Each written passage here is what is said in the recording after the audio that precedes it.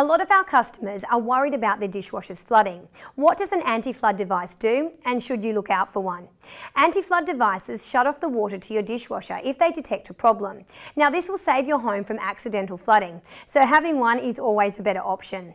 There is nothing worse than having to deal with a flooded kitchen because there was a technical malfunction with your dishwasher.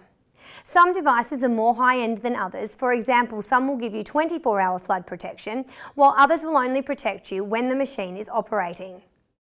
So we always get asked this question, what type of fridge is right for my kitchen? You'll need to factor in the layout and size of your kitchen as well as your personal budget and number of people living in your household. There are four main types of refrigerators. There's the top mount, the bottom mount, the three or four doors and the side by side, which is just like this one here. Each style